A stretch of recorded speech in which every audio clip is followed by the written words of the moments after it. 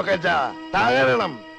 അവന്റെ ആഫീസിന്റെ ചില്ലുകൾ തകർന്ന പോലെ അവന്റെ എല്ലാ ബിസിനസ്സുകളും തകരണം. അതെന്റെ നിലനിൽപ്പിന്റെ ഒരു പ്രശ്നമാണ് അതിനു വേണ്ടി എത്ര പണം ചിലവാക്കാനും എനിക്കൊരു മടിയില്ല. ഇതൊരു ദക്ഷിണയായിട്ടിരിക്കട്ടെ. മുതലാളി മുതലാളി ഒന്നുകൊണ്ടും പേടിക്കണ്ട. ഇനി നമ്പ്യാരുടെ എല്ലാ സ്ഥാപനങ്ങളിലും സമരങ്ങളുടെ വെടിക്കെട്ടായിരിക്കും. വെറുതെ അല്ല വെറുതെ അല്ല പറഞ്ഞേ കെ പി സി സി ജില്ലാ സെക്രട്ടറി വക്കച്ചനായി പറഞ്ഞേ നോക്കിക്കോ.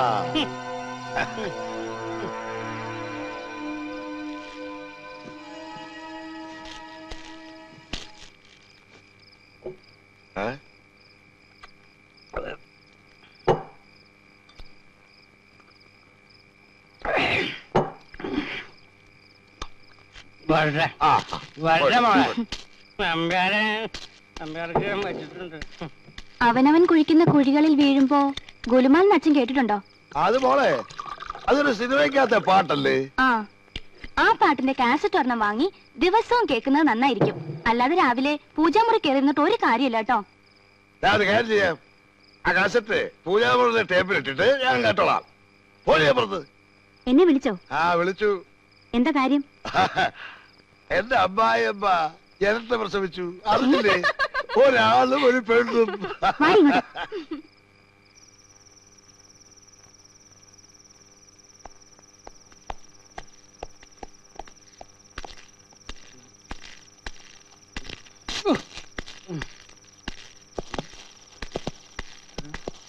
ആരാ നടക്കണ വഴിക്ക് വണ്ടി ഇട്ടിരിക്കണേ അറിയണോ അല്ലേ? ആരാ?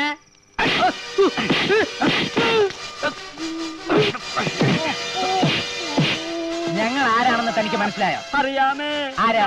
മക്കളല്ലേ എടാ സന്ദീപേ ഇയാൾ നമ്മളെ തിരിച്ചറിഞ്ഞു മെടുക്കാൻ ഇനി തന്നെ ജീവനോടെ വെച്ചോണ്ടിരിക്കുന്ന പ്രശ്നമില്ല നീ ആ പെട്രോളിംഗ് എടുത്തേ ആണോ മരിച്ചുപോയ ഏതെങ്കിലും രാഷ്ട്രീയ നേതാവിന്റെ പ്രതിമ ഞങ്ങളുടെ കവലയെ വെക്കണമെന്ന് കുറച്ച് നാളായിട്ട് വിചാരിക്കാം അത് തന്നെ ആയിക്കോട്ടെ അയ്യോ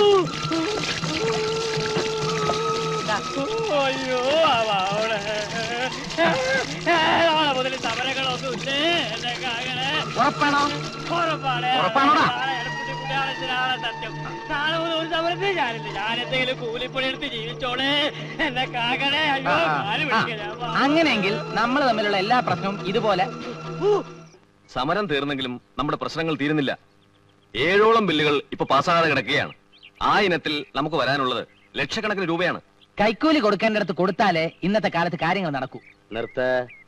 അങ്ങനെ വളഞ്ഞ വഴി കൂടി കാര്യം നേടുന്ന സ്വഭാവം നമ്പ്യാർക്കില്ല. നേരായ അളവിൽ സിമെന്റും കമ്പിയും ചേർത്താണ് ഞാൻ ഓരോ ബിൽഡിങ്ങും പണിതിരിക്കുന്നത്. എടാ യുക്തിവാദിയായ ഒരു മനുഷ്യനും ഒരിക്കലും സമൂഹത്തെ വഞ്ചിക്കില്ല. അത് പറഞ്ഞപ്പോഴാ ഓർത്തത്. നമ്മൾ പണിത ഫ്ലാറ്റിൽ ചോർച്ചയുണ്ടെന്ന് പറഞ്ഞ് കമ്പനിക്കെതിരെ കേസായിട്ടുണ്ട്. ഈശ്വര. അങ്ങനെ അബദ്ധത്തിലാണെങ്കിലും വല്ലപ്പോഴും ഈശ്വരനെ വിളിക്ക.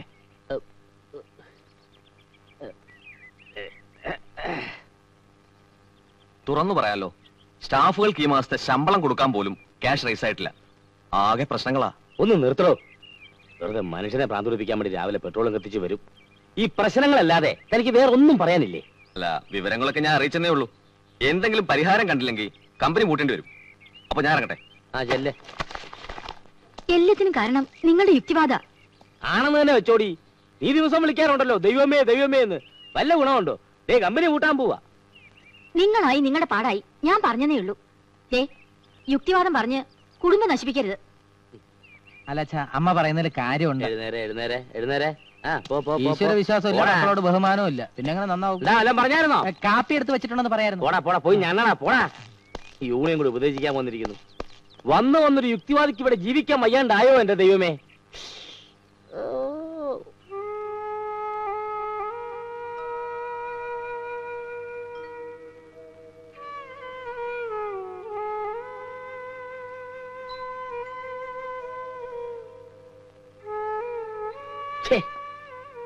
എന്താ സുധർമ്മ ഇത്? നീ ഒന്നും കഴിക്കുന്നില്ലേ? എനിക്കൊന്നും വേണ്ട. എടോ ഓരോരുത്തർക്കും അവരവരുടെ വിശ്വാസങ്ങളാ വലുത്. നീ ഈശ്വരനെ വിശ്വസിക്കരുതെന്ന് ഒരിക്കലും ഞാൻ പറഞ്ഞിട്ടില്ല. എന്റെ വിശ്വാസങ്ങൾ അടിച്ചേൽപ്പിക്കാനും ഞാൻ ശ്രമിച്ചിട്ടില്ല. എന്നിട്ടും എന്റെ വിശ്വാസങ്ങൾ ഈ കുടുംബത്തെ തകർത്തു എന്ന് നീ പറഞ്ഞു. സാരമില്ല. എനിക്കൊരു തകർച്ച വന്നപ്പോ ജീവിതത്തിൽ ആദ്യമായി നീ എന്നെ കുറ്റപ്പെടുത്തി. വേദനിപ്പിച്ചു. ഇങ്ങനെയുള്ള ഘട്ടങ്ങളിൽ ഭർത്താവിനെ തലോടി ആശ്വസിപ്പിക്കണം എന്ന് ഞാൻ പറയുന്നില്ല. പക്ഷേ തള്ളിപ്പറയാതിരുന്നുകൂടെ? വേദനിപ്പിക്കാൻ പറഞ്ഞതല്ല. പേടി കൊണ്ട് പറഞ്ഞതാ. അല്ലെങ്കിൽ നമുക്ക് ഇങ്ങനെ ഒരു കഷ്ടകാലം വരുമോ? ഒന്നിനു പുറകെ ഒന്നായി പ്രശ്നങ്ങളല്ലേ? നമ്മുടെ കുടുംബത്തിൽ എന്തൊക്കെയോ ദോഷങ്ങളുണ്ട്. അതെന്താണെന്ന് നമുക്കൊന്ന് പ്രശ്നം വെച്ച് നോക്കിയാലോ? എന്റെ സുധർമ്മേ അതൊക്കെ അന്ധവിശ്വാസങ്ങളാ. ഈ ജ്യോതിഷം മഷിനോട്ടം എന്നൊക്കെ പറയുന്നത് വെറും കപടശാസ്ത്രങ്ങളാ. ദേ ഇപ്പൊ മനുഷ്യനെ പറ്റിക്കാൻ ടി വിയിലും തുടങ്ങിയിട്ടുണ്ട്. അജ്ഞാതം അവർണനീയം പത്രക്കാര വകയായിട്ട് വാരഫലം. ഛേ മോശം. നിങ്ങൾ പറയുന്ന ഒന്ന് മനസ്സിലാക്കാനുള്ള ബുദ്ധി അറിവൊന്നും എനിക്കില്ല. സിമന്റ് നേരാവണ്ണം ചേർത്തിട്ടും കെട്ടിടം ചോരുന്നു. സത്യസന്ധമായി ഓരോ പണി ചെയ്തിട്ടും ബില്ല് പാസ്സാകുന്നില്ല. സർവത്ര കാര്യങ്ങളിലും തടസ്സം തന്നെ. അതൊക്കെ ശരിയാവൂടോ ഒന്നും ശരിയാകാൻ പോകുന്നില്ല. ഞാൻ എന്തു പറഞ്ഞാലും നിങ്ങൾ എതിരെ പറയൂ. പ്രത്യേകിച്ചും ദൈവകാര്യത്തിൽ. നമ്മുടെ മക്കളെ ഓർത്തെങ്കിലും നിങ്ങളിത് ചെയ്യണം. എന്റെ മനസമാധാനത്തിന് ഉപേക്ഷ പറയരുത്. ശരി. വിശ്വാസമില്ലെങ്കിലും നിന്റെ ആഗ്രഹത്തിന് ഈ ഒരു പ്രാവശ്യം ഞാൻ കൂട്ടുനിൽക്കാം. ഒരു പ്രശ്നം വെപ്പിലൂടെ നമ്മുടെ എല്ലാ പ്രശ്നങ്ങളും മാറുകയാണെങ്കിൽ നീ പറയും പോലെ ഒരു ഈശ്വര വിശ്വാസിയായി ഞാൻ ജീവിച്ചോളാം. അതല്ല എങ്കിൽ മേലിൽ ഇത്തരം കാര്യങ്ങൾക്ക് എന്നെ നിർബന്ധിക്കരുത്. സമ്മതിച്ചു. എങ്കിൽ നീ തന്നെ ജോലിസിനെ വിളിച്ചു വരുത്തി പ്രശ്നം വെപ്പിച്ച് നമ്മുടെ പ്രശ്നം മാറ്റ്. പിന്നെ അതൊരു പ്രശ്നമാകരുത്.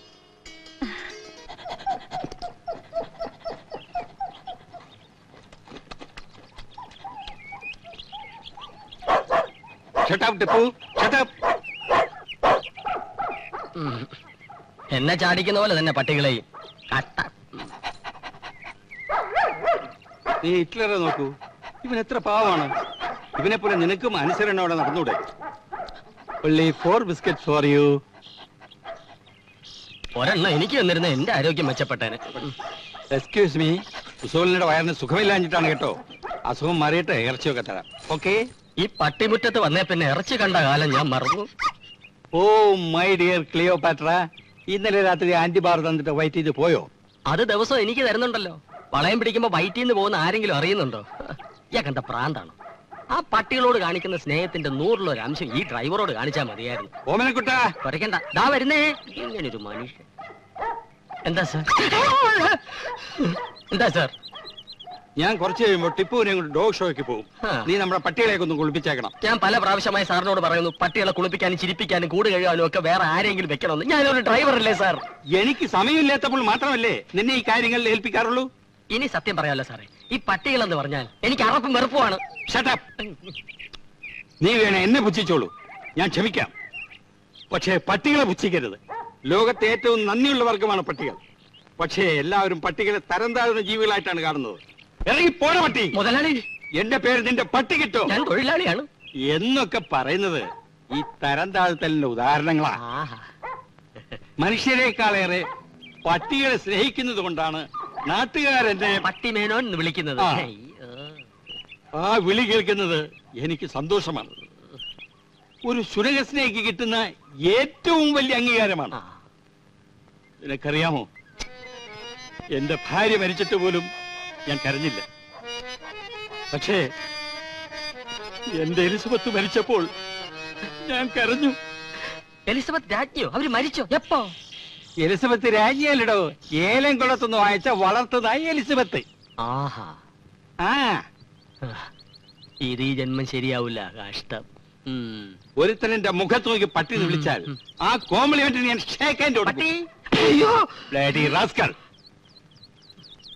ഞാനിവിടെ പട്ടിയായിട്ട് ജനിച്ചാ മതിയായിരുന്നു. തല്ലിന് പകരം തലോടൽ കിട്ടിയാൽ ഭാഗ്യമുള്ള പട്ടികൾ. ഭാഗ്യമില്ലാത്ത ഈ ഡ്രൈവർ പോയി